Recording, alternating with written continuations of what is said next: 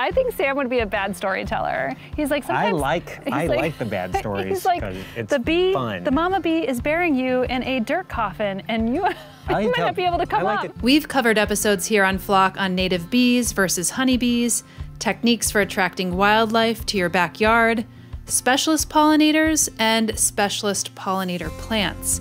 But today, we're paying a visit to wildlife biologist Sam Droege to have an extensive conversation on taking a nature first approach to constructing and landscaping for wildlife, and specifically to attract our dwindling native specialist bee populations. I'm Sam Droege. I work at the Native Bee Lab or the Interagency Bee Lab because we now have several different groups there. We're here at my home. My home is a old house built in the 1920s, had about an acre, all lawn, very ordinary. and I flipped it both because I use this as research, so I'm interested in what plants are blooming and what bees are coming to them, and because I'm compelled to do that. So the buildings have been altered a lot with natural home building kinds of approaches. There's a, an additional new building over there, new being, you know, uh, 2010 or so, all out of straw bales and different kinds of techniques and things you can get from the earth and um, can go back to the earth pretty easily and be repaired by digging a hole in the backyard, that kind of thing. And I want to be surrounded by nature at lots of levels. So the general idea here is that you have surrounding is the Patuxent River bottomlands, and it comes up to the edge of my house because that's the boundary with state land or something. And what I want to do is I want to merge with that. Yeah. So you just want to like be seamless. Yeah. Yes, particularly around the edges. So, with like a lot of people, right? You use the area near your house the most, and what you want to have, I think, in a nature first sort of approach to everything, is to have the um, landscape nearest the area that is most natural be the wildest, instead of like a lot of times you might see this. Okay, I've got a house and I've got a big lawn and I'm interested in pollinators, and now I'm going to put a big round circle of pollinator meadow in the mm-hmm. middle, mm-hmm. but it's not connected. And so the animals look at that and go, no, I don't think so. There's a lot of dangerous area between that pollinator garden and the woods. Now, others, like bees, don't care. They just mm-hmm. fly wherever. But a lot of the other animals are going to avoid that. So here, not necessarily what most people would want. I've got all kinds of cool snakes and other things. and I also love snakes. I'm like, I'm like, let's put some more stones out for them. Yeah, yeah. And um, so, like, I'm saving these old roofing panels Yeah. over Should here. we walk over? So these were replacing the roof on this house.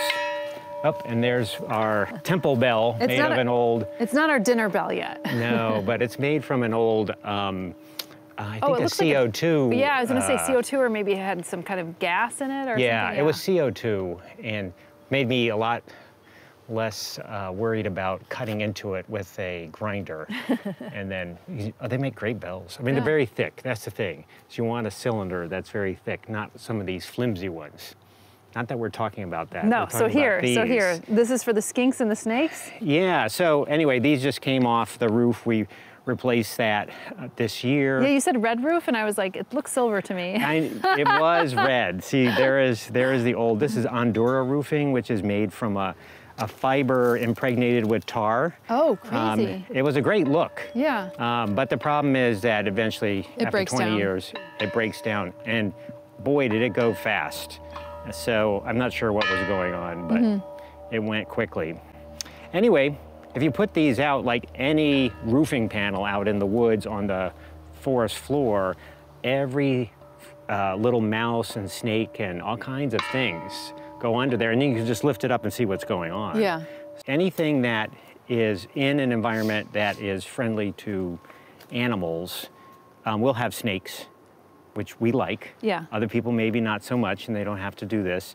But things like uh, big flagstones and uh, roofing panels, old boards, plywood, all kinds of things. And that's what the snakeheads do when they are um, interested in studying snakes. They just put out lots of basically flat junk, and then they go and look under them. Now here, sadly, we don't have things like copperheads and rattlesnakes, but we do have hognose snake, king snake, Rat And snakes probably. We have rat snake Yeah. and racers. and- Milks, milk snakes. no? No, it might be around, Yeah. but I don't. Have never seen any. We have worm snakes. Oh, worm snakes are pretty cool. yeah, and um, garter snakes, and um, probably in the swamp there's things like queen snakes. And So you're, you're kind of like the bee guy, but you like all of nature and Oh, yeah, you just want to facilitate that Yeah. in your own house. Right, and through different periods of my profession, I've worked on amphibians and birds and butterflies, everything. Are you, you leaving some of this shrubby? You have like a lot of hedges for the, Yeah. for the birds? It's or? Very, it's often in flux. So I may just completely wipe out some of these things and Mm-hmm. redo it, replant things, but you can't really tell what's going on here. But for example, that's uh, Aronia, the black one, whatever that is. yeah, what is the, that? the Chokeberry? melanocarpa, yes. Aronia melanocarpa. Yeah, so that's black chokeberry, I believe is the common name. Uh, do you have a deer pressure here? Yes and no. Okay. So we're surrounded by a lot of deer, but when they come into the yard, they often don't leave the yard, and Uh-huh. they go in my freezer. so I see. if you want, I Because I, can was like, your you. aronia is not eaten. I know. Well, actually, it, it's aronia. super effective. So what people don't really realize is that um, it's not like um, a this mass of, of deer populations are just roaming around randomly, always targeting your garden. There's a set of females that basically have territories, Yeah, and their female daughter Yeah. sets up the territory. So if you eliminate those, even though the population is high, you can really drop the numbers, and that totally works. I see them every once in a while, but some deer pressure is okay. Yeah. It's just the I'm going to park my deer butt in your garden or my garden and eat everything is a problem. yeah. But on the other hand, organic, you know, natural, it's led a great life. Um, good food replaces other things I would have to buy. Not that I buy meat, so it works out really well. Yeah. Now, when you take out the mother deer, or that kind of c- claims this territory, Mm-hmm. will that hole be filled by another deer? coming in? Eventually, Okay. eventually, but it's very slow. Yeah. So it's there's you would think it'd be a lot faster. Like if I go out in the woods in the winter and it snowed, there are like a billion tracks over there, and so they they have you know free reign to come in, but they don't, and are not very commonly. So um, I really have no no significant deer problem. Yeah. And I notice you're like leaving a lot of these stumps up too. Yeah.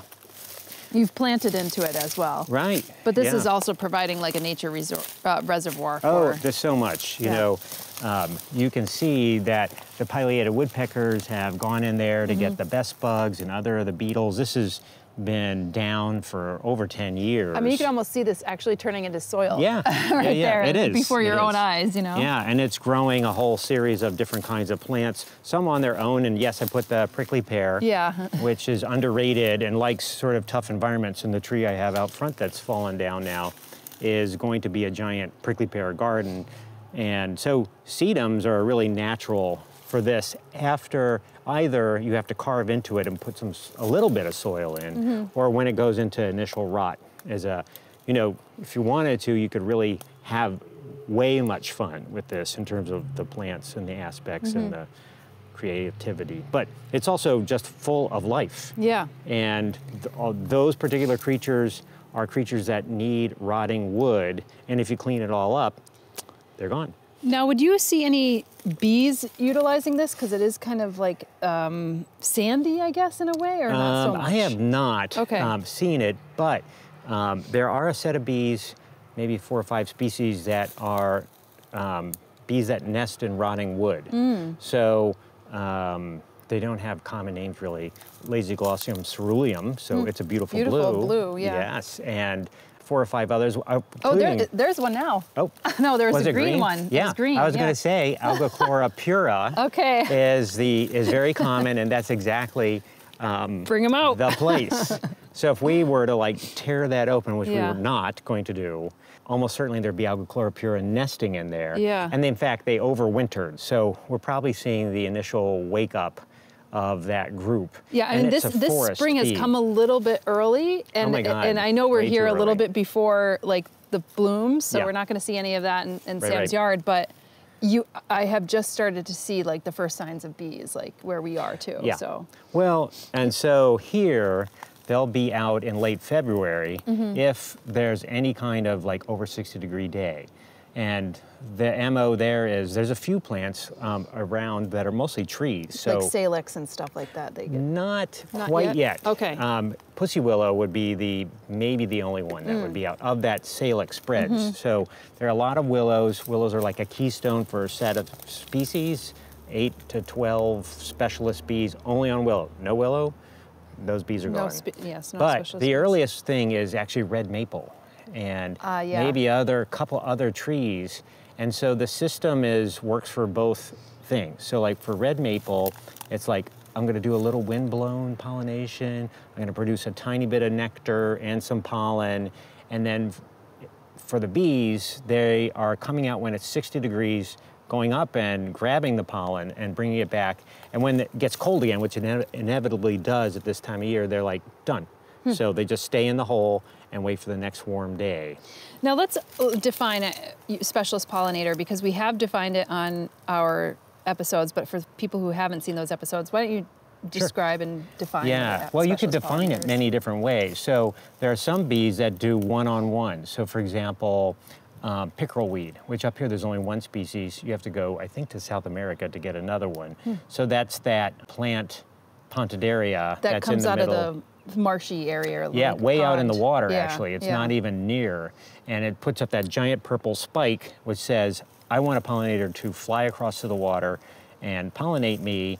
And you're not going to find a place to nest here, but I have to have a super signal. Mm-hmm. But the weird thing is, it, not to go down the Pontederia rabbit hole, but they have very, very specialized um, pollen and nectar cavities. You have to have a very long tongue to get to them.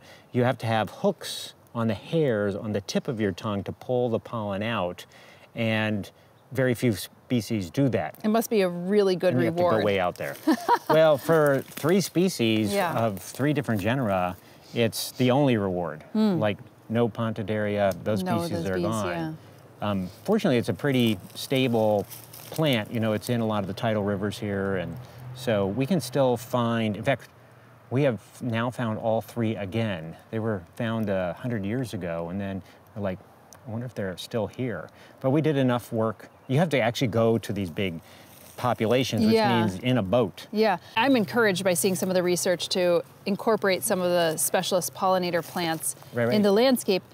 But how do they find them? How do they come back? Could they come back? How long does it take for them to come back? I know those are probably all generic questions, right. but like, like, and how, how much of a population of that plant do you need to have? Like, if we were to take our pond and say, okay, we're going to get some pontederia Yeah, yeah. are we going to get any pollinators or not? You know what I mean? Um, well, Like- it kind of depends. So you're up near the Finger Lakes, Yeah. but um, not terribly far up towards the lake plain. Mm-hmm. And I'm not sure all of the configurations there is um, a Fish and Wildlife Service refuge Mm-hmm. that is called. Uh, I don't know, actually. Okay. Yeah. Anyway, it's got as the, most of these refuges, sort of a duck place, right? So they got tons Well, Sapsucker of. Woods is like filled with like a, is like That a might duck be place. Yeah. two, but Yeah. this one has that. So people have done some surveys up there for um, bees, and they Mm-hmm. have found the Pontederia specialists up there.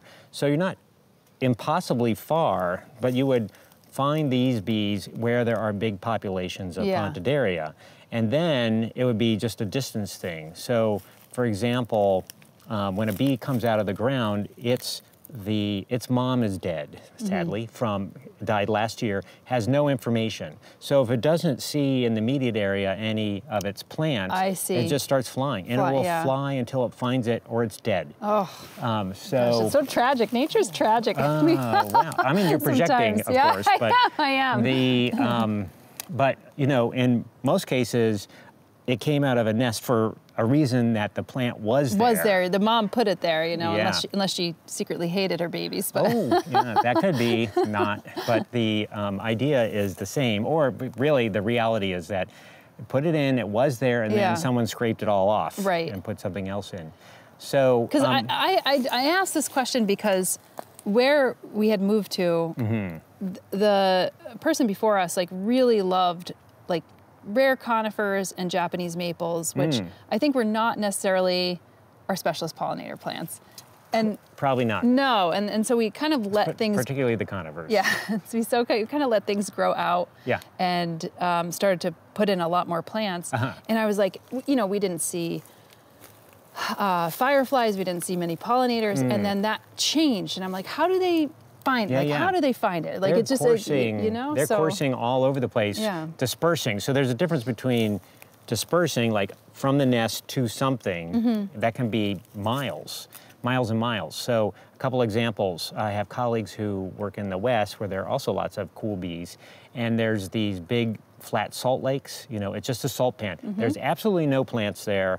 And they can go five miles out into those salt lakes and put out little traps that are attractive to bees. They get them Wow. because the bees are not like that smart, you know, like, oh, don't go out in a salt lake. and they are flying and maybe they'll make it across. Yeah. But they see that color, which is, it's a color-based trap. It's like, oh, a flower, I'm gonna check it out.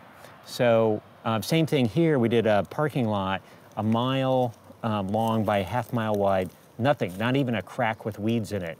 Middle of that, we got plenty of bees in those traps because they were traveling Hmm. Yeah. across them. Well, that's, I mean, that's really hopeful. It's, uh, Yeah. you know, to, No, no, no, to you kind of hear those stories. You should not limit yourself. Yeah. And then out of curiosity, and this might be very general, if you were to replant a population of like say specialist pollinator Uh-huh. plants, how many would you need to sustain a little a little bee population? Right. So um, I got this from Brian Danforth, who's up at um, Ithaca. And basically, Mm-hmm. our area. Yes. Yeah. And he um, did a review of um, that subject. Mm-hmm. And basically, it comes down to something, let's say, five flowers worth of pollen and nectar. So that's almost nothing. Yeah, for a baby bee. Yes. So okay. that's so that and would then I think I read enough. that same report because I think I had mentioned that in my like specialist Mm-hmm. pollinator video because I was like five flowers for one little baby bee. right. Well, if you think about it, they're small, first Yes, of all. yeah. And also they're exothermic, so they're not, they don't have to like create heat.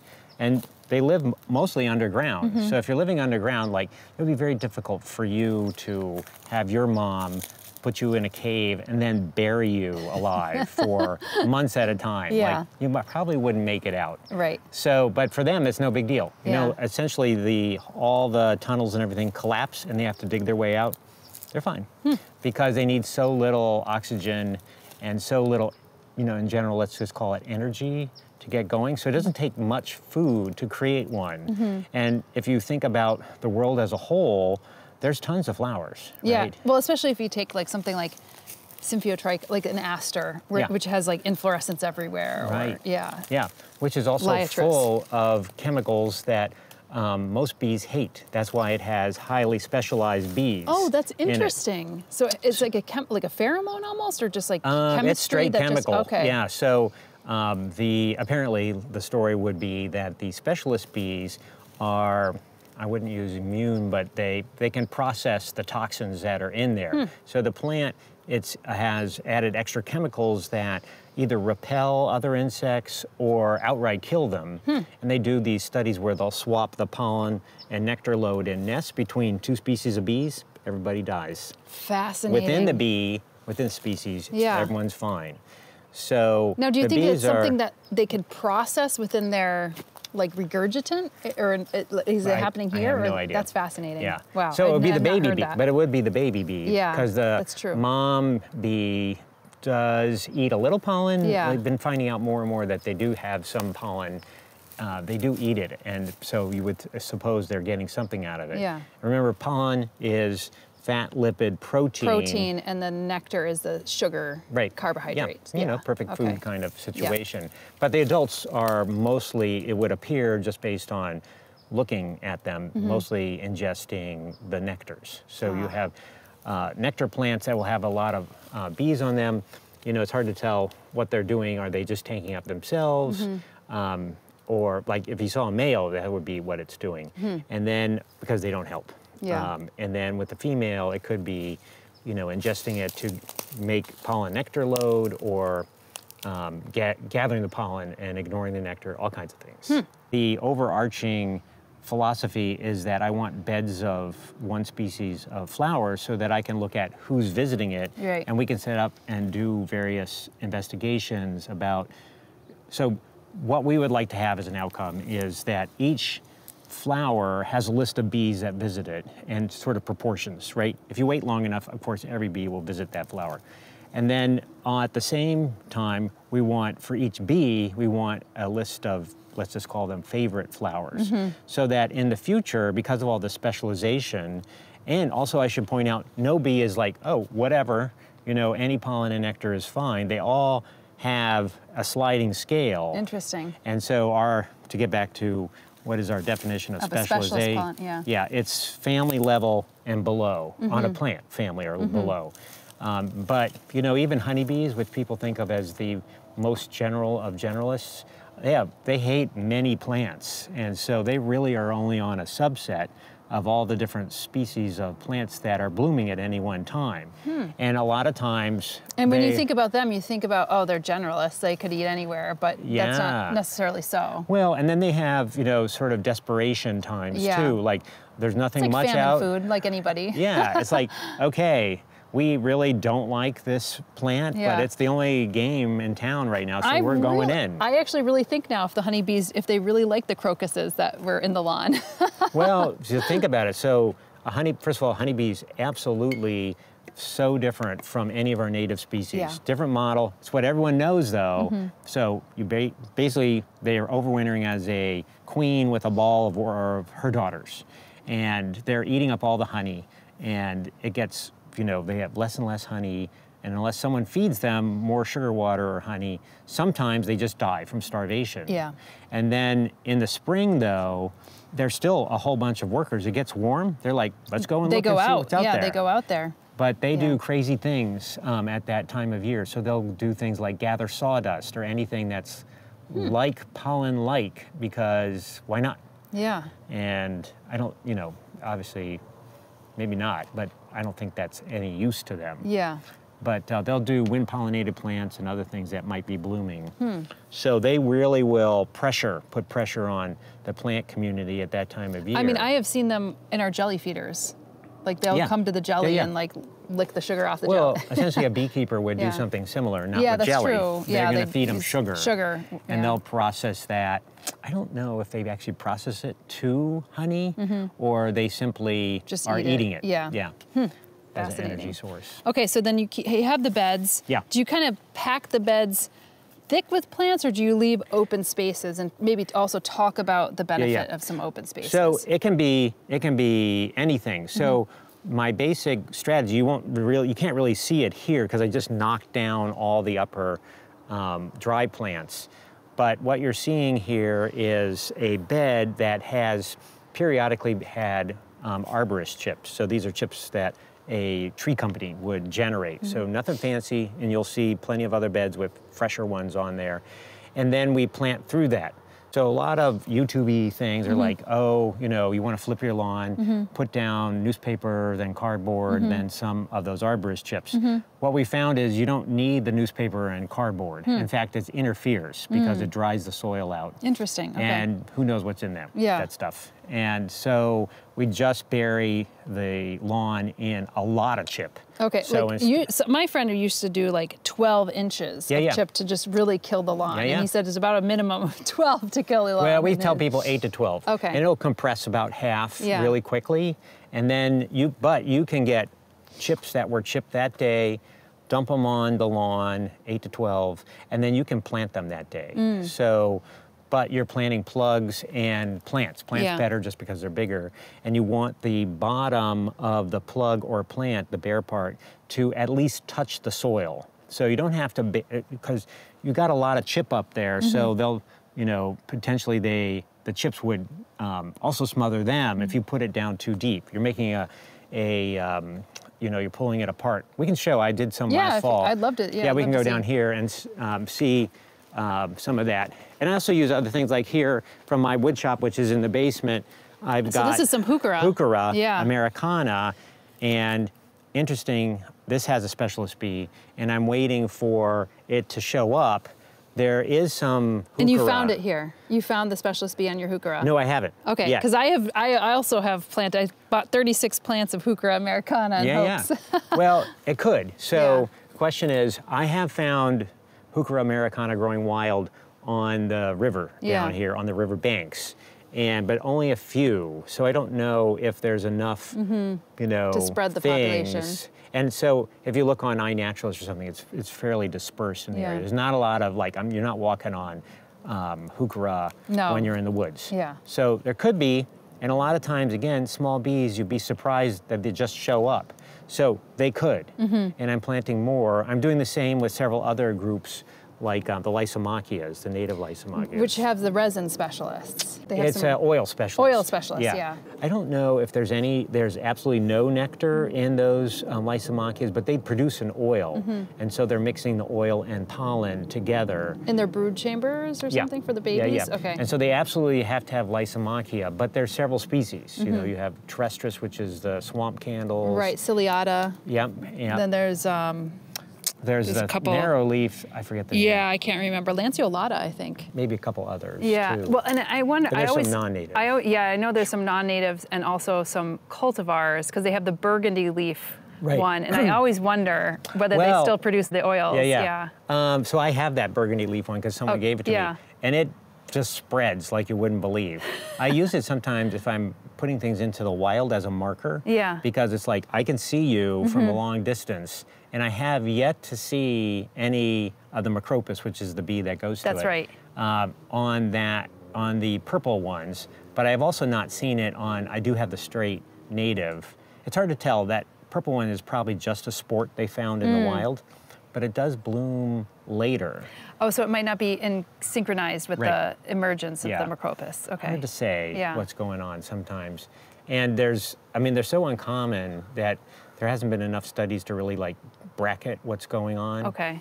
But anyway, last year we did get macropis on our ones at the research lab. Oh. But on the narrow-leafed or the lanceolata. Now, would you ever? This may be a kind of against like what you would do, Hmm. but you know how you you would, um, you know, maybe take a wild animal and you put it into a like a like a wildlife refuge, or you kind of just put it into another place. Yeah. You know, would you ever do that with a bee? Would you ever say, Um, okay, bee, I want you over here? I would, I would do that, but I don't know if that's useful. Yeah, Right. okay. I don't see any like uh, philosophical problem with doing Right. it, but you know, just like I would bringing be like the bee spreading, out. spreading the population is right, what right. I would think. But yeah. you know, let's say, oh, there's the bee. Yeah. Let's, I'm going to catch it and I'm going to move it. Yeah. Well, what Wh- would that bee do? I- I- Would exact- It's like, or- ah, this is not my place. I'm going to yeah, go he's like, it. where's my family? It's like box turtles do Yeah. that. Ah. So if you pick up a box turtle in Mm-hmm. the woods and you bring it home, and then you go like, oh, I'm done with this box turtle now. I'm going to let it go in my woods across my street.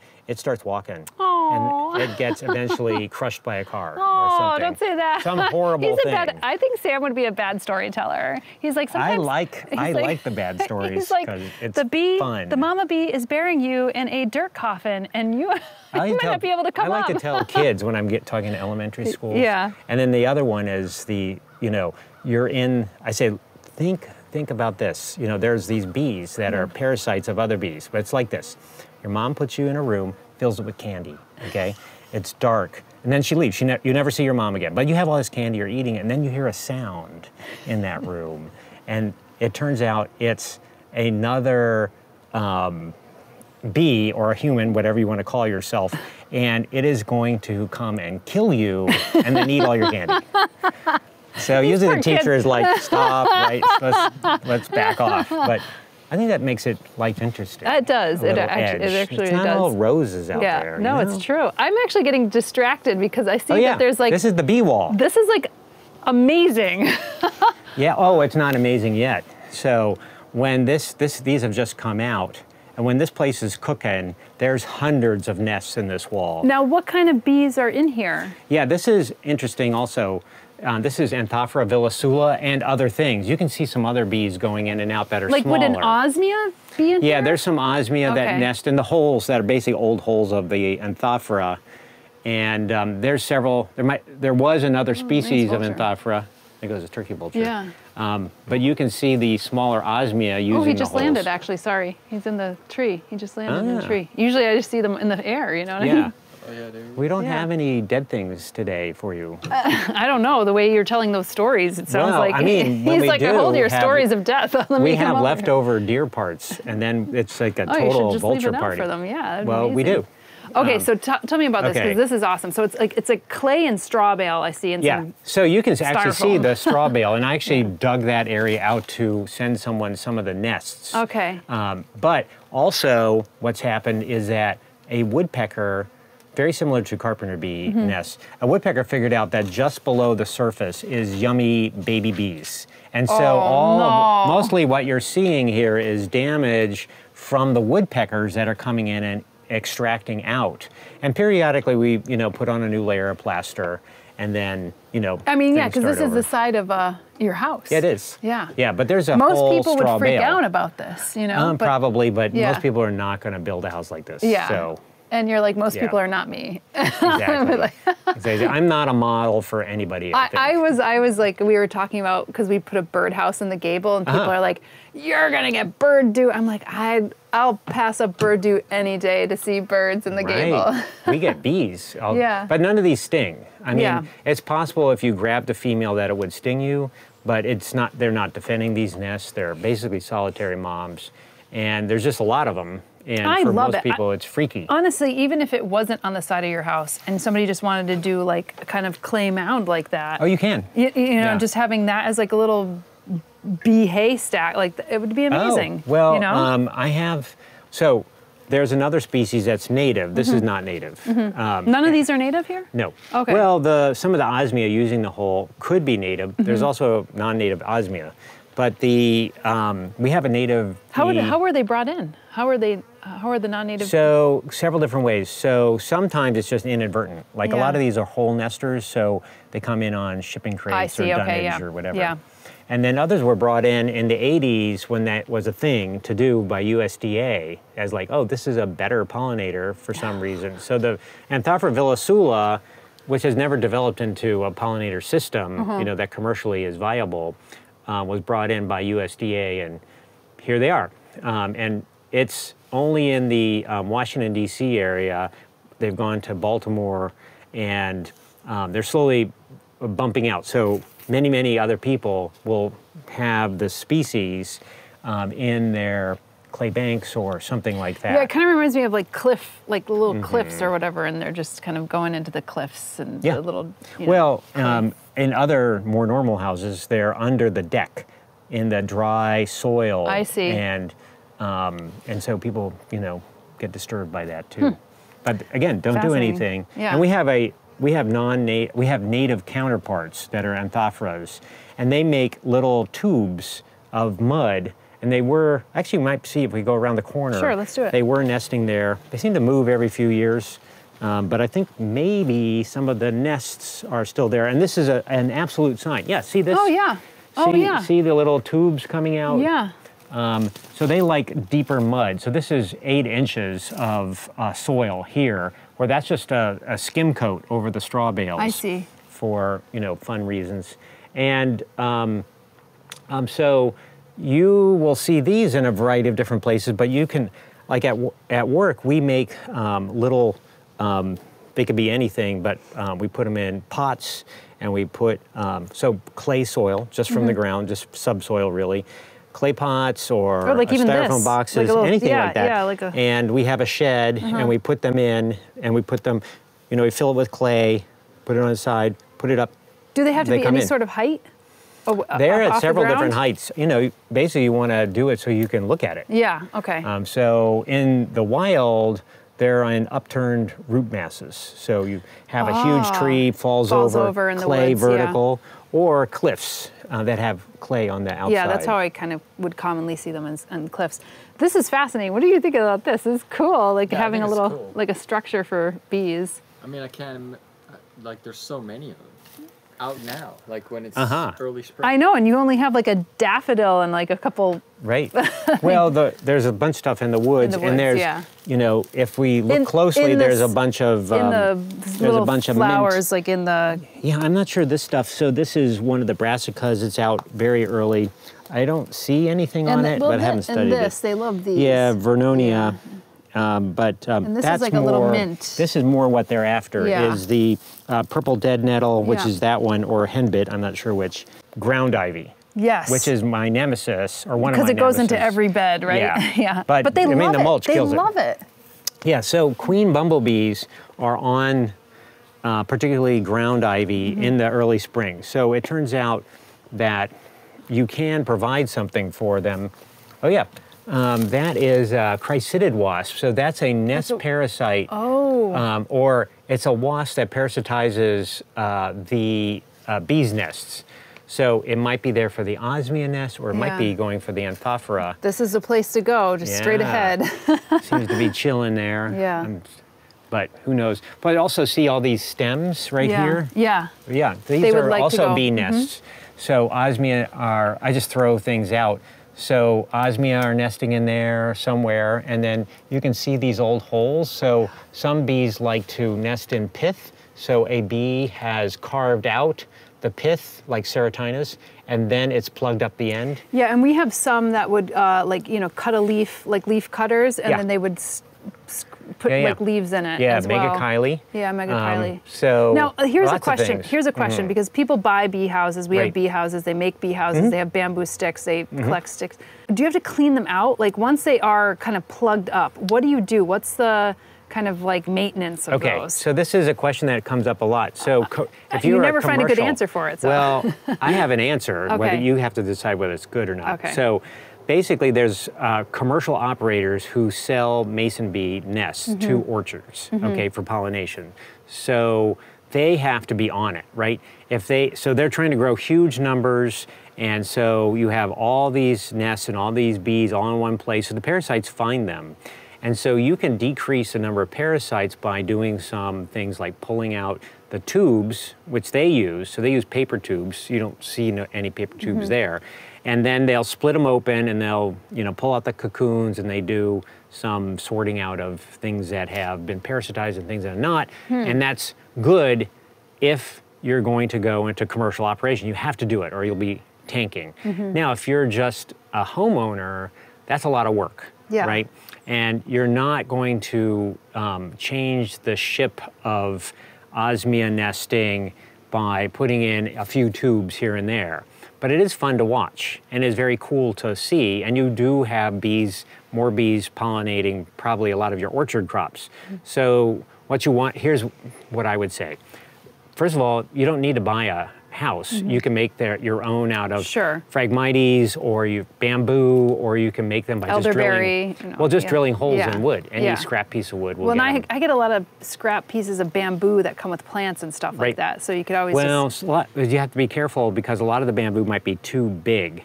right. Right. It comes so in all diameter, different sizes. Yeah. You What's have to have the tips. Okay. And what what's the ideal diameter? Because these are quite Um, small. Well, when you're buying um, uh, drill bits to make these kinds of things, I tell people one eighth, three eighths, and five eighths. Okay. And just drill them, you know, as deep as you can go with that drill bit. Um, you don't need to buy anything special. And so there's a lot of information. Again, commercially, you want a really long drill bit, Mm-hmm. right? But if you're just doing it for fun, then any old drill bit will do. And then you put it out like now is the time. They're making nests, and you put it on your porch where you sit, or at the kitchen window, or where between the car and the house, so you can watch what's going on. And then um, they that will continue throughout the whole year. So the spring you have osmia, then you have a variety of other species um, that use it. It can be a huge range. It can be some little solitary wasps and then nest parasites and all kinds of stuff. And then at the end of the year, um, just move that whole nest, leave it out, or if you want, but move it to like the back of your property, put it there and put a new one in. Okay. So you can watch it. Okay. But you like if it's, it's if it's plugged up, mm-hmm. do you ever have to do you have to clear that out? No. No. It, and will they will they reuse that? I guess is what I'm Some. saying. Some yeah. will. Okay. But that's why I say, you know, because it's so easy to get these nests or make them, Yeah. just put in a fresh set of nests Yeah. so that you can watch the action and move the old nests into the back of your property right, okay. in vari- various places. And then those bees will leave Yeah. and they may, other bees may use that same nest structure, but you don't have to worry about these kinds of things, Right. which obviously you're spending a lot of time Yeah. thinking about. Yeah. And, you know, I've definitely so seen nest parasites on like our Oh, they're little- always on the bee there. house. So because Yeah. I saw them like, and I also saw one carrying a leaf in its mouth, and I was like, it's just so amazing. I know. and the nest parasites are just as interesting. It's just as interesting. I didn't wanna- they're- didn't wanna you know, do they're- anything. I didn't wanna they're- interfere. They're species too. Yes, So, exactly, um, exactly. some of them, there's a couple that are problematic because they're not native, but a lot of that's around anyway. But a bunch of them, like that little chrysidid wasp is, that we just saw, that's a native species. Mm-hmm. yeah, so beautiful too. you're supporting that too. Yeah. Well, wasps are okay pollinators. I wouldn't call them great. So the bees are great pollinators. Everyone else is sort of like Even the butterflies are kind is of taking like- the advantage. Yeah. a butterfly, long Yeah. legs, big Yeah, long at the tube, like they're You're not t- just hitting. taking the nectar. Skippers though can have do a face plant because they're shorter Mm-hmm. and they they do some pollination. It depends, you know, like milkweed is often the pollinia which are not usable by bees, right? So it's mechanical Hmm. clip to particularly great spangled fritillate great spangled fritillaries yeah. um, and clip physically and they move them any big insect is a Hmm. mover of pollinia. So there's many, many circumstances where a plant might be wasp oriented or butterfly oriented, but in general, you know, the heavy lifting, if you just did the Excel spreadsheet, is mostly bees because they are using the pollen. So the plant has many more opportunities to kind of co-opt that system. And the bees are very efficient. You know, they're gathering lots of pollen. It's not an accident. Now, I'm curious, like, and this may not be part of the role of what you're doing at the USGS, but I would love to go to an independent garden center or a plant center and Mm-hmm. find all of my specialist pollinator plants in the area, and Yeah. that you cannot do that yet. Like at least where I am, Right. And and we have a lot of native but they people. could do that. They could do that. Yeah. Yes, they could do that that. information's there. Yeah, and I and I have had to have had to go to uh, various different places Uh-huh.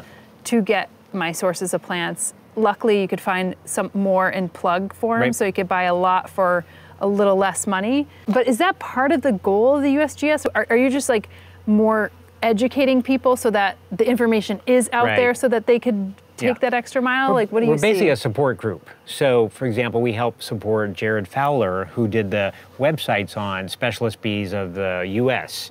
And you know, we have lots of information, and um, we'll develop techniques for doing surveys. Um, we'll do um, that very basic, like what bees are coming to which plant with different um, techniques. It's you know tedious. You're not going to probably get um, tenure by sitting around watching bees or having your camera watch bees come to, camp to and just making that list over and over again. But that's that's like our jam, and so same And- thing with surveys. And maybe like we should have maybe addressed this right from the beginning, but tell folks why these specialist pollinators are important because oftentimes when I talk Mm-hmm. about pollinators, when people think about pollinators, they're like, "Oh, are you raising honeybees?" Right, right. And they d- immediately go to that. But Yeah. tell me about like the importance of these specific pollinators and their relation to honeybees as well. Okay, so honeybees, first of all, is they're n- none of them are native, and everything you know about honeybees does not exist in the native bee as a strategy. So that's a good thing because the diseases and pathogens of honeybees rarely um, are transmitted to the native species. That's good to know because that was a big concern during colony collapse disorder. Right. Well, and so the other part of that is um, this sort of um, uh, laissez-faire thing about pollination. Like everything got pollinated in the past pretty easily, so no one really paid that much attention as who's doing the pollination. So during colony collapse of honeybees, because pathogens from Asia is basically the story, came in from other species of honeybees, everyone was like, oh my God, all of our pollination issues in crops were going to tank and everyone will starve to death. Um, but it turns out that when people started looking, a lot of the native bees in, at least in the east, have the capacity to move in and do that pollination. Now, in industrial agricultural areas, you're still very dependent. Think of the almond crop. Yeah, bringing the ho- honeybees in. Yeah. Yeah. I can't remember if it's 50% or 75% of all commercial honeybees from the East Coast everywhere end up in California. Yeah, I, and I think they go to the sunflower crop. They go to apples then, Mm-hmm. I think in Washington. They make this like loop. There they is- go oranges in Yeah. Florida, and then oftentimes they go to the almond crop in California, then to the Pacific Northwest for apples, and then they go to sunflower crop in the Dakotas. So there's different strategies yeah. in terms of like which ones you go to and Right. what contracts you have Yeah. if you're a commercial beekeeper. And some people are doing commercial operations and just want to stay local. So, Mm-hmm. you know, it's geared towards, say, New England and, um, you know, blueberry, uh, cranberry, apple, and not. But it turns out that in most of those um, situations, you don't need to have honeybees. You have a lot of options in terms of natives, and now more and more we're looking at well, how do we build up these native um, species so that um, if the honeybee does completely tank for whatever reason, the you know pollination needs of our various crops are going to be met. Um, and, and I know in Cornell they did some research around apple orchards or Yeah. orchards in particular, where they like if you leave meadow plants, goldenrod, solidago, all, all around, then you get the native pollinators, and they actually pollinate better. Than yeah, they're more efficient more on efficient, a per yeah. visit thing. Um, so yeah, honeybees are often very extractive. So think about a honeybee. There's that ball of pollen and nectar. Ball of pollen and nectar doesn't pollinate anything Mm-hmm. because it's just a big blob of, of like a rock. So a lot of the native species don't do that. Bumblebees are an exception. Yeah, because they get messy.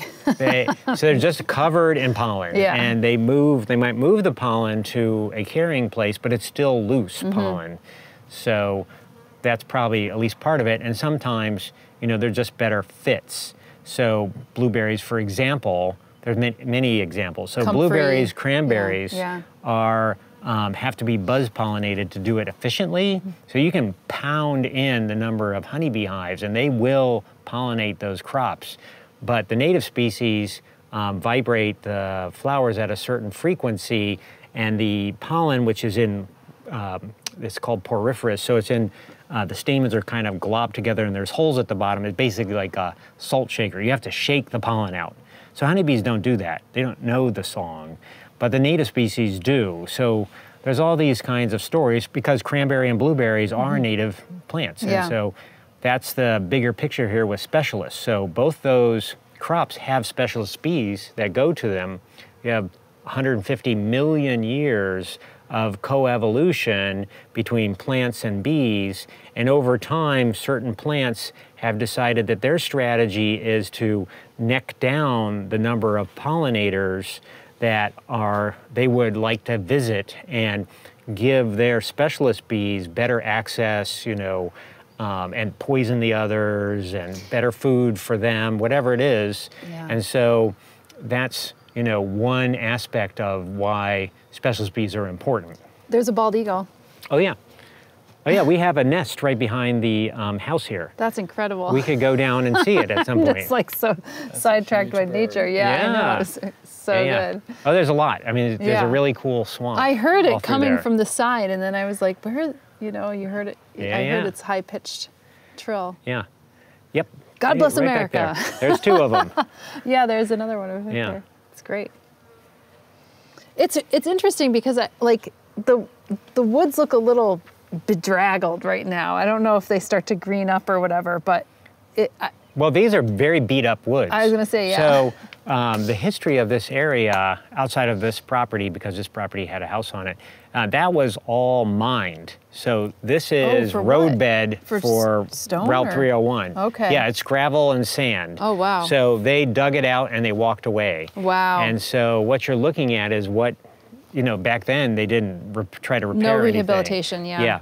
But um, so it's been interesting to um, look and watch the recovery. You know, um, you have a bunch of um, plants that are um, adapted to living in forests, um, but a lot of the ones that come up, the vernal plants, the ones that bloom in early spring on the forest floor, they don't move quickly. They're not used to um, having to go somewhere to find a new forest. Um, their seeds are heavy, often moved around by ants and all kinds of things. So they're gradually moving in from the bottomlands where there was a tiny fringe Right. that um, was either left or recovered enough because they graveled right into the, Wow. the riverbed. wow. And so it's fun to watch what's going on. Yeah. Ever get carpenter bees? I, I wonder. Oh yeah, And how do you I've feel got, about that? I've got tons of carpenter bees, um, particularly in that house over there. Yeah. But here too, but not as much. do you Um, worry about them at all, or not? no. Not so much. Okay. I like them. Okay, so We- he, he doesn't worry whole- about carpenter bees, Sonder. We have a whole pro carpenter bee um, screed that we Yeah. can hand out, and I can give it to you. Oh yeah, I would I'm love. sure. Um, we're gonna start a club. Yeah. I'm sure if my deck structure would. Um, so here's the here's the thing. Okay. We'll talk He's gonna- carpenter bees He's gonna because break it this down. is carpenter bees. you know Also, we were at one, the Um, there's what. So our house has these giant beams. Mm-hmm. Basically, they're cedar. It's cedar. And that supports oh the roof. candy. Candy. So there's been one bee, one carpenter bee who had made a hole in there that I noticed. That's it. That's just That's one. nothing. But that's where it starts. Yeah. So tell us more about Okay. the carpenter bee. So carpenter bees are native Mm-hmm. and they naturally nest in soft woods and people have created like the perfect environment for carpenter bees. So thank you people. And any soft wood is going to be inhabited by carpenter bee nests eventually. So anything from a bench so redwood bench, cedar bench, people don't realize it, but underneath that bench is a carpenter bee female that comes in because the holes are almost always under. Ah, I see. things. So it's it's softwood. So if you had like a house built of oak, for instance, then Nope, no, no it wouldn't want interesting. Well, this this house here, all Yeah. those rafter tails are oak. There is not one carpenter bee in there. Huh. That house is built with um, pine. Yeah. And the rafter tails are loaded. wow. That was built, um, you know, pushing almost 100 years ago. Yeah. That was built roughly 15 years ago. So what kind of oak? Red oak? Or? Any oak, oak is all Um, hardwood. They just want softwood. So softwood would be Yeah. hemlock, Right. softwood be. Because I've also Pine. put up like, I'd put up like the wood that they give you when you order lumber, the just to keep it off the ground. Uh-huh. I'd drill holes in that and put it up on the deck to see if I can deter them from going into the deck. They want the deck. But they want the older, softer wood, I think. It's probably down well, it's a combination of things, right? It's um, location. So maybe where you put it is like not their jam, right? so, um, and they like to come in from underneath. They do like super soft things. And additionally, you may put up great nesting habitat, and they may like it. Like in arbors are often the place. So that's great, but it doesn't mean that you've they move from that structure to that. It means now you've doubled the number in the area. We can have so- more. I love More how I love how territorial they are. In particular, Yeah. they They get they so mad at they each other. go at each other. It's Well, so, those are the males. Yeah. So the males they're always are patrolling. You know. they're they're controlling a territory of um, wood Mm-hmm. with nesting females in it, and so they're fighting other males, and they're basically like motion detectors, but not very good ones. So they, if you come onto the deck, they have to check you out because They, do. They, get right do- up in your face. Right. if you take a pebble Yeah. and you can throw that pebble, they will chase the pebble. and they will also chase airplanes across the sky. so, but eventually they figure it out. Yeah. Right? And they don't sting, no male bee stings. Yeah. Sometimes So- they hit the window so hard. Yeah. Yeah. Well, it, you, they might be looking at themselves. or something.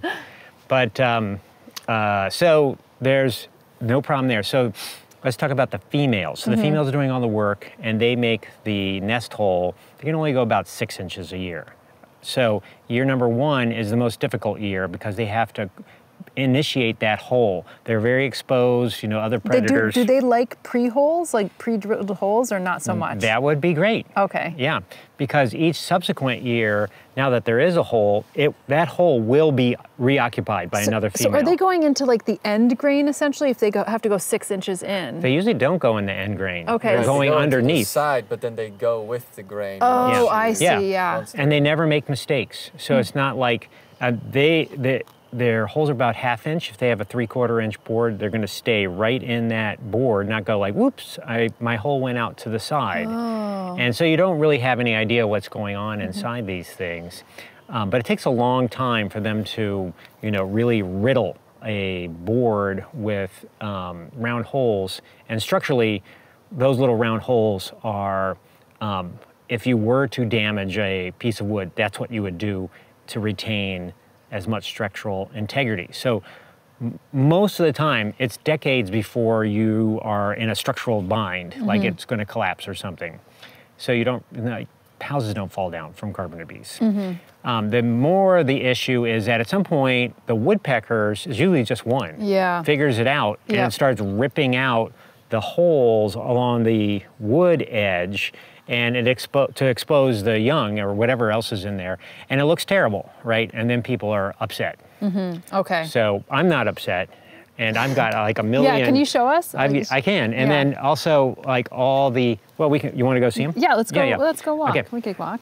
and also almost every one of those four by fours you would think they would avoid treated but they don't They don't avoid treated either. Nope. Okay.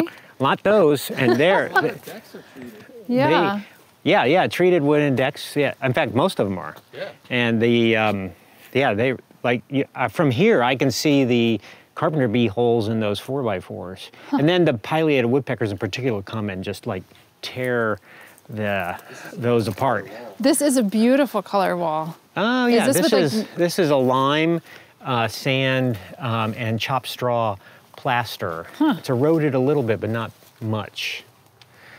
And um, I this is this house is where I live, but I helped with some of the building, but. Uh, buddy of ours, Eric Hempstead, did most of the building. He's really high name. end. Yes. Hempstead, you know. Right. We did not have any hemp to put in. I know. He would have. But it, you can make a hemp house. It's a hempstead. Exactly. exactly. It's a great name. Sometimes Um, you just become your name. so if we take a look at uh, up There is a- here, here, like for example, that rafter tail, you can see there was a hole, but the woodpeckers have Yeah. drilled that out.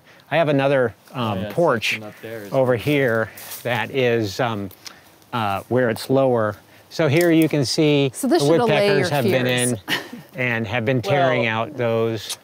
It's not about fears. It's about escalation over time. Well, in the in the end, you're going to do if you really want to bring the numbers down. You can't kill your way out of this because there's an infinite number of um, of uh, carpenter bees. You can see even here the decking is they really like the decking. I don't know what, but look at all the holes there. and Yeah. Look at how Wow. the woodpeckers have hung upside down and have started ripping out those decking board sections where they can hear a baby carpenter bee in there. But you can see that there's Oh. quite a bit. And I have to say too, the way I discovered Yeah. that there was a bee in one of the beams is because when I was working behind my desk, Mm-hmm. I heard a chewing sound. Oh, that's right. Ah. yeah. and it was driving me Oh, nuts. cool, And I was like- wondering where it was coming Yeah, from. because it's so Ah. quiet. and then I listened to the beam, and then, And then I heard that there the- was You heard it something in, the you were inside or I was outside? inside, and these beams are huge. Uh huh. So They then go I the went whole to go width outside. Of the house. I went to go outside, and then I saw that there was a little hole in the bottom of it, and none Uh-huh. of the other beams have it, but that one did, and Right. it was. I mean, So you can you have to be careful. Can you ever fill the hole? Like, Yeah, would yeah. they be able to get out? Well, that's the control thing. Yeah. But I also will mention that particularly in wooden houses, there are a couple different species of what they call old house borers. And so these are beetles that um, will um, literally chew into your wood. And it's so extreme an environment, very dry Mm-hmm. and not very nutritive, that it takes them often years to complete their cycle. To emerge, yeah, Yeah, and a- what an you'll adult. see inside is a, at, when they are getting ready to emerge, you'll see little sawdust coming down, Hmm. and you can actually see them kind of pushing it out, and then you they'll ever find the bee, or, Yeah. did, or you found the bee? Yeah. So it Yeah. was a bee. It could be, Okay. but I'm just saying that Could be. Could this is another problem. I've got them in the other house, not this one Yeah. yet, and um, they will, um, uh, um, you know. But the thing about them is they're so slow. Like they're called. Um, I think one of them is called the Death's Head borer. I've seen that one because of the the patterning on the back, right? It's not. I don't Oh. think that. You're thinking of Death's Head moth. Moth, maybe, yeah, yeah. That one does have a Death's Head Yeah. on it, but the uh, Death's Head or I can't remember exactly, exactly. something like that. You know, it goes like you're there very late at night and it's Oh, think it's- silent. and it's like Satan in knocking. the middle of night, and it and it just you'll hear this, The Grim Reaper. and then there's a long pause, and then you'll hear. And um, anyway, just another thing that you can Halloween have is inside your house. Sam's favorite time of year. That's right. I love these little things that you have like just around your house where you're like, Oh yeah, I there's have a the- bee. I have this there's little. the osmia nest. And see, these were from last year, Yeah. and every single one was full. But now these have emerged, so you Ah. can see where there was mud, Yeah. um, and they chewed through. So take me through the life cycle. So that you have when when does the mother start putting the mud? Like is it in fall? And do they emerge in spring? Um, so these are almost all spring bees. Okay. So these were almost 100% sure were all osmia. And so she gathers pollen and nectar, she goes into a hole, and then she deposits the pollen and nectar, and then eventually lays an egg, and then walls it off. And there's one baby per hole. Nope. Or no, series of cells. Series okay. of cells depending on how deep that hole is. But what what if the one in the back emerges before the one at the oh, front? that might be one right there. Yeah. But the um, yes, so people have studied that. Yeah. And um, so every once in a while, the one in the back, which you would think would hatch first because it was Mm-hmm, the oldest.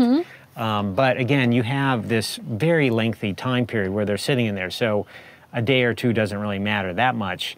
Um, and I can't remember, it's like the ones in the back are males and the ones in the front are females, or vice versa. So they sometimes can like kill their sisters and brothers by Yeah. climbing out and you oh. know basically messing them up. But I don't know. People have looked at that. Yeah. And they would be better to look at what they've done. Gosh, it's almost better than you would think to make a shallow hole so that she go many shallow holes so that she only ha- could put one or two in. they like they prefer longer the holes. The longer holes. Like if okay. we've so that's done why you said with the drill studies. bit, like go as long as possible. Yeah, or you know, if you're working with straws, they choose the long straws. Like you- Okay. we use Phragmites a bunch. Yeah. And um, you know, the inevitably, invasive haplotype or the, Yeah. the native haplotype? it's. Uh, I'm sure it's the invasive one. Yeah. But you know, the one that stays around too long. we're not adding to the population by using them. For Well, that's good. I mean, just you could just say, I have this little extra end grain, you know, this uh, piece of wood. I'm going to drill some holes in it and put, Oh yeah, put it by the that's house. just a cut off bee of a four by four and actually treated. Yeah. And they're doing fine. Amazing. Um, It gives people so many options. Yeah, many options. I tell tell people like give your child the portable drill and just Yeah. tell them to drill any piece of wood, like the neighbor's neighbor's fence, your front porch. Yeah. they, those all work, and the kid will have fun. yeah, absolutely. I'd imagine so. Your neighbor would probably be pissed. Firewood, rafter tails. Yeah. No one notices. That's the Yeah. thing. Like Can if you you, take- drill full of holes, no one's going to see. Now, when they do like the bee homes and everything, obviously we are think we're talking a lot about wood, but can you talk about like leaving bare patches up because there's Uh-huh. most of our native bees are nesting in the ground, Right. correct? Yeah, so there's this whole thing where people say, "Oh, I don't put down mulch because the bees are can't move through the mulch." First of all, there are some bees that can, but not very many. It's true. But the bees can fly, so the bees will move from foraging on all the plants that are in the mulch beds and find a place nearby to, you know, go into the open ground. Mm-hmm.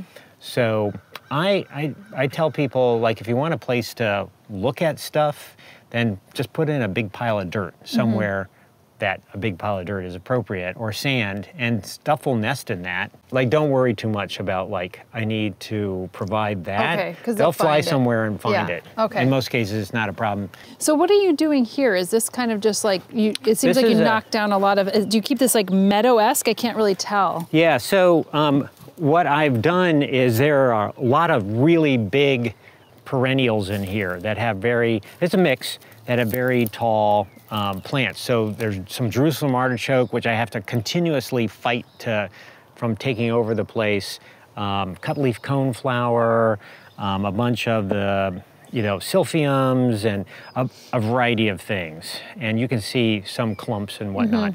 And so I go, I actually really have become enamored with battery operated um, uh, weed whips. So Weed whips? or What string is- trimmers. Oh, string trimmers, String okay. trimmers rather. And And, because and not and not like a like one of those. no, this is a brush, but they have. Um, so I have a DeWalt, and I think others do this too. Yeah, And I can just take off the um, the the uh, string trim attachment and Yeah. just jam in the brush blade one, and I. Can, that's what I do. Is I just take that brush blade and in Oh. 10 minutes, Yeah. I knock this whole place down. Yeah. And then it's a call. Sometimes I'll pick everything up and move it somewhere else because you know I may want access to the ground Yeah. for and you do that weed in, in the springs, right? So that you're not because some of those nesting bees might be in those stalks. Are you Mostly they're not. really okay? Yeah, so Tell me about that. Um, so most of the bees that nest in stems Yeah. can't penetrate the wall of the stem. So they are looking for either some kind of damage to the stem, you Uh-huh. know, a borer or whatever during the growing season, but more often they're after um, things that have snapped off or browsed down. Okay. Um, so deer sometimes have a, a value A value for for creating that. cuts, but a, a if you brush hog, for example, a field and leave it pretty high, Yeah. that's like optimal for a lot of bee species. Oh, fascinating. particularly like blackberry stems and um, all Yeah. the brambles are Okay. great places. But you know, each bee has its own proclivity.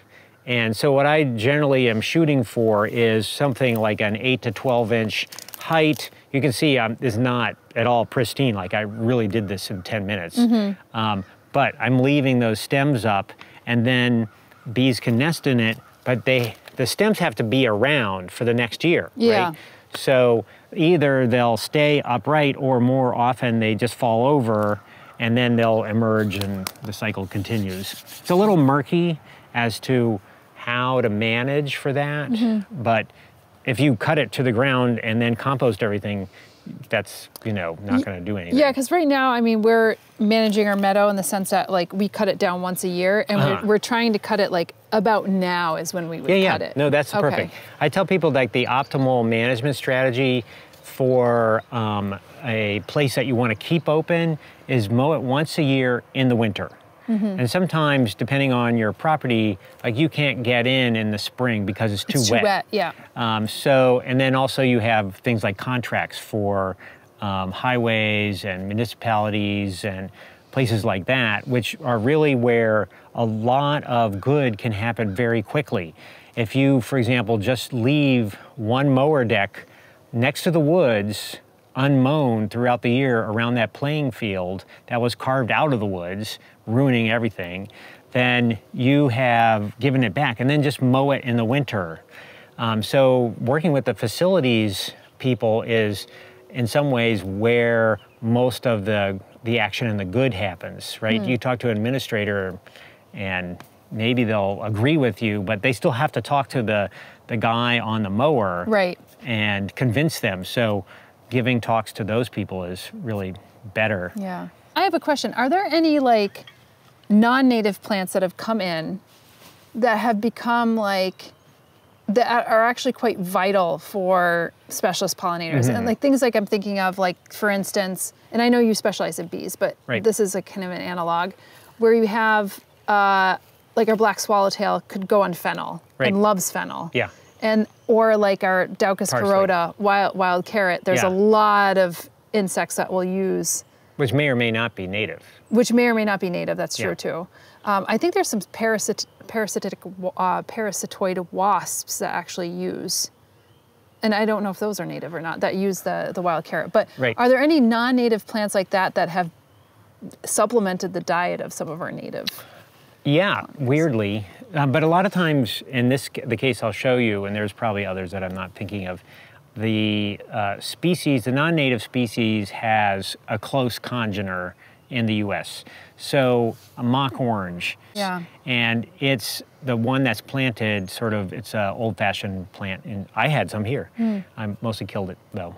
But the um, the Philadelphus um, attracts a bee called Chelostoma philadelphia, and Which is like the Philadelphus yeah, kind that it we is. have the It's mock orange. it's so uh, so connected to that plant Yeah. that they even named it after that plant. And the but the weird thing is is like the the native Philadelphus is super rare, and we can't quite figure out the system because sometimes we can find the bee and we are pretty sure that there's no Philadelphus tame or not anywhere Hmm. nearby. So there's a lot of mysteries, but you know, guaranteed if you go into any little town or village or even a big city and you see mock orange, you will find that plant. I did a study. You'll find that bee. Find the bee. Yeah, yeah. So I did a. So there's a USDA Germplasm Center here, great because they have all these plants and they're all labeled. And so they had a whole collection of Philadelphus from mostly um, Asian, and they all had the bee on it. The, Really? the rare bee. Okay. Because, but they were all Philadelphus, Uh-huh. and I was looking at all the plants in that area, and there were no Philadelphus on anything, or uh, No- none of the the Chelostoma philadelphia Yeah. bee that is associated with the Philadelphus on any of the other plants, even though they're literally just feet away. Hmm. So that's one example.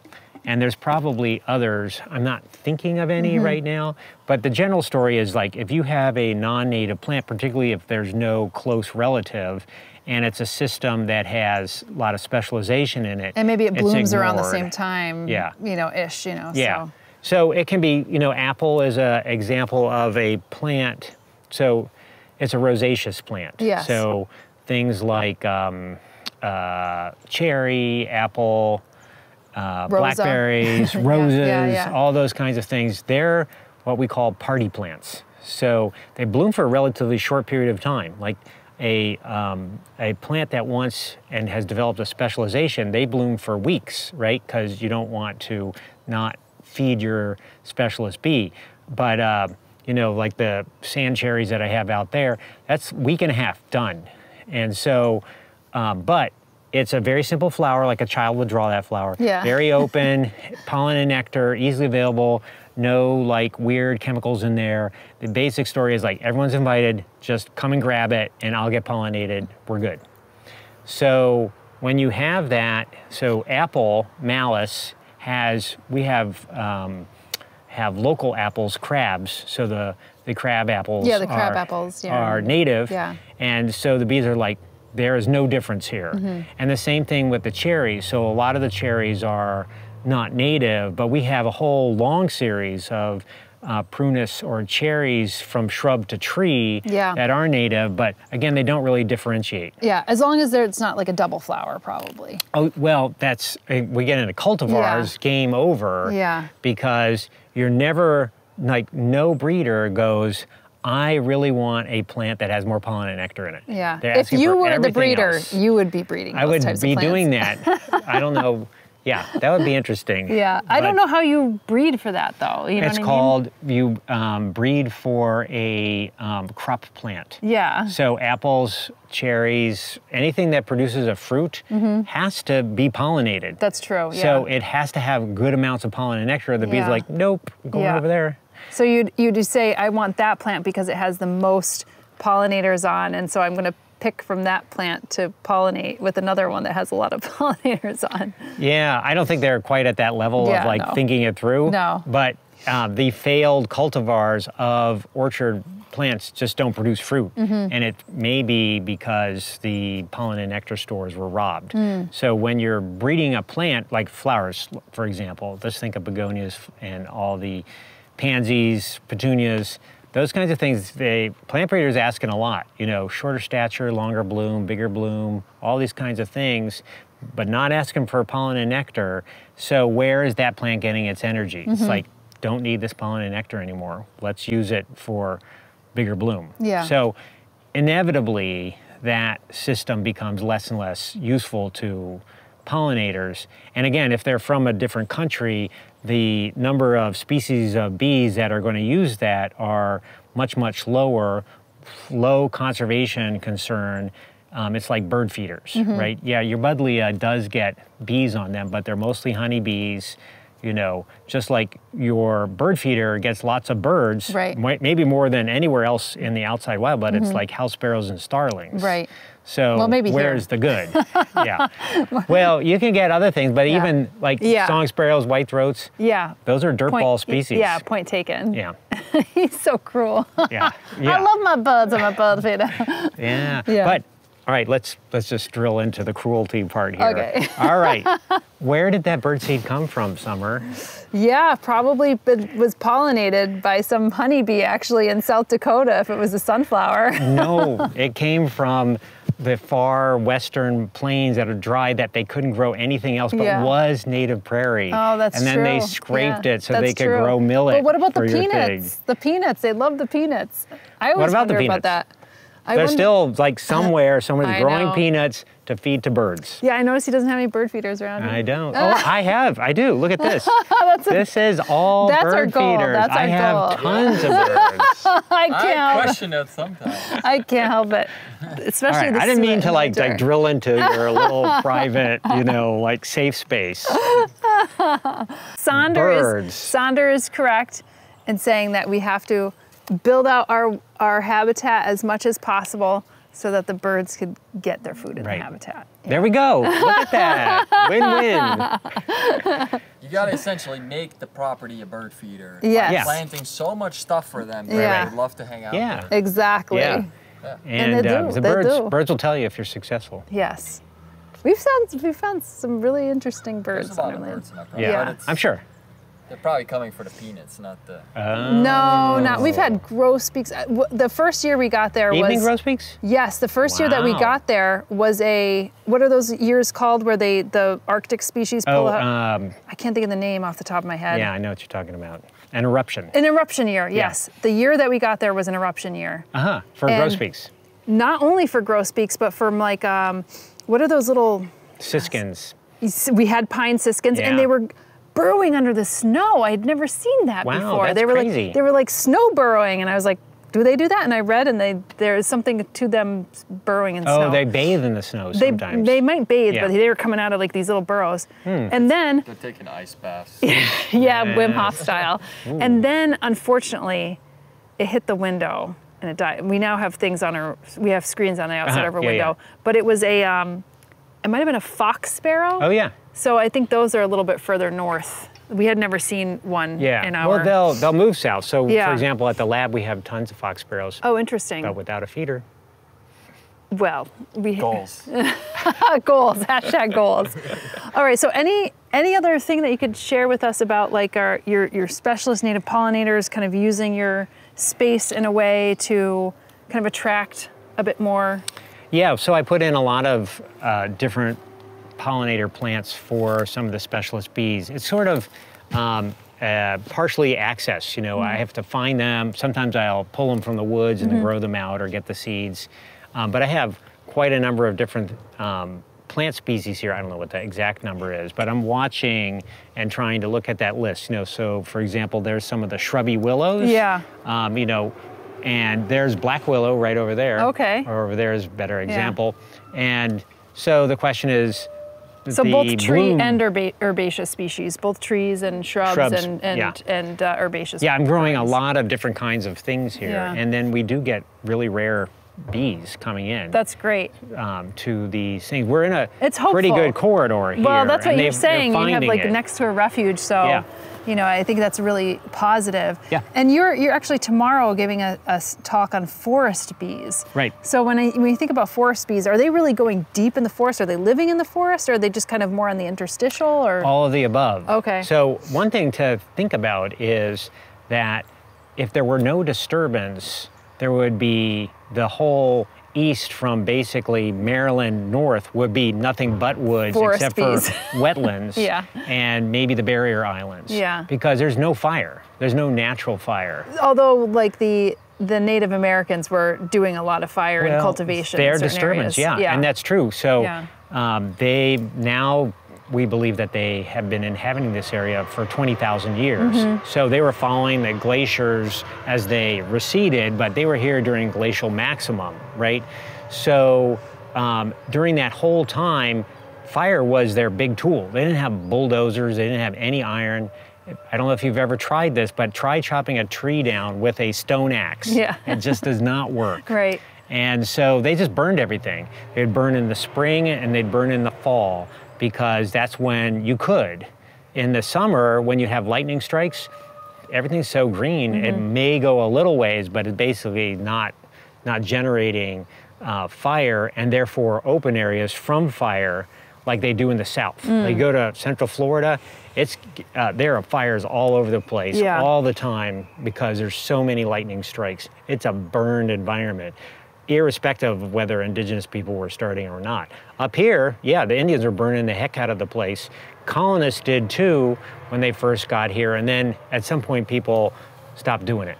And um, so now we have a very a different habitat, but um, you know that's only a 20,000 year window when there were um, uh, Indians in the area, right? So before that, uh, we had a long, long history of eastern deciduous forests, and you know it might be moving back and forth in terms of the location, and all these bee communities and plant communities developed in there. So in the spring, you way into the middle of the forest, you have a whole series of plants and specialist bees that are on just coming out of the ground. So they're gathering light when the canopy hasn't opened up. Spring beauty, claytonia, trillium, and blue bluebells, and all kinds of things. They have their own bee fauna, hmm. and um, and so once they're those plants are done, then those bees are gone. Right. Uh, you Blood also root, Dutchman's, bre- all those. well, yeah, they all, and each Yeah. has a slightly different. I just think of the architecture of Dutchman breeches Yeah. versus bloodroot, Right. And you're thinking there's something going on. Yeah, Dutchman's breeches is a real. Who's getting up in those pants? You know. Yeah, Queen Bumblebees is a big one, and And um, a lot of those flowers are actually white. If you, a Um, lot, yes. some of some of them, most like a, a lot of the trillium, grandiflorum, Right. like the the, I'm thinking also cohoshes, Right, the right.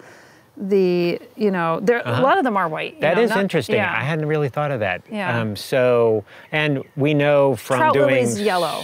You know, trout lilies. Right, Erectum. but there's white ones, too. Yeah, that's true. Yeah. We have a bad invasive problems with a, uh, a lesser celandine, which is a ranunculus, which is yellow. Yes, we don't taking have, over. We don't have that where we are as much, or maybe we do, but we just I, we don't have it in yeah, our surrounding might be area. coming your way. It's Yeah. Hmm. like trash this area. And then the you have shrubs, subcanopy, and canopy trees that are all blooming, and depending on a lot of different factors. So a lot of those woody plants. So think of a more acidic forest where you have huckleberry and vacciniums and um, mountain laurel, all kinds of things like that. But in a clo- completely closed canopy, they're mostly repressed.